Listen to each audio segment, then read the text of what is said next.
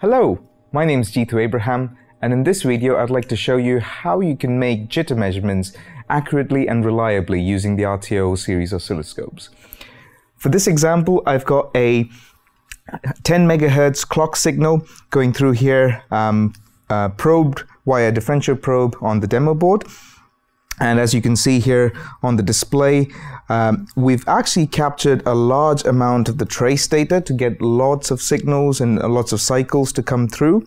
And you can actually see that I've done a zoom there, so you can actually see the 10 megahertz clock there.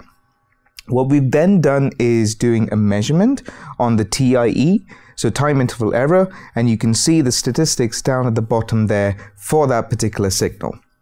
What you also see is a track of the TIE. So on the, the, the sort of purple trace there, you can actually see the TIE measurement done uh, and, and tracked along each of the cycles that we've actually captured. And you can see there, there's a definite pattern. So let me go ahead and minimize that, that um, the main signal. And you can actually see there is kind of a definite pattern to how the TIE is actually changing. And you can also see that it's kind of bursted as well. It's not kind of periodic at all.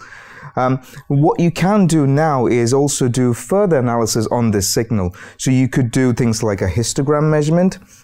Uh, you can actually display that so you see the distribution of that TIE measurement over that period and you see uh, the definite side lobes that we're seeing there so that we, we know there's a strong um, disturbance coming through from somewhere. And uh, the only way to analyze this is maybe to do uh, further analysis on that signal. So from the TIE measurements, we could see, uh, yet there is this definite um, definite disturbance.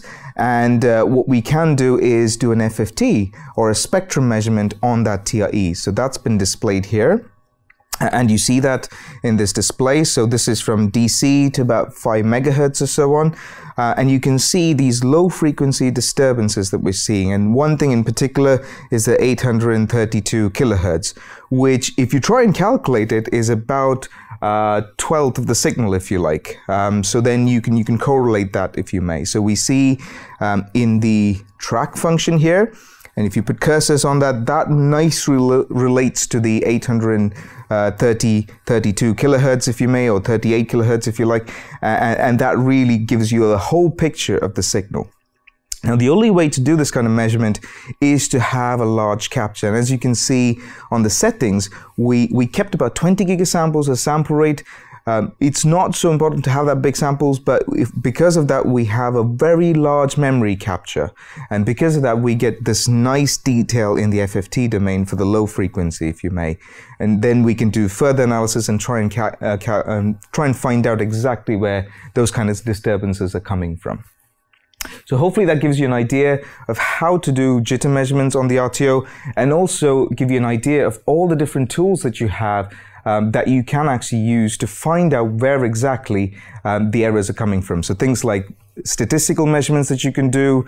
Um, doing the track function is nice and you can actually see that where exactly and try and find if there are patterns if you may. And then doing histograms and the FFT of that will give you a full view of where exactly disturbances are coming from.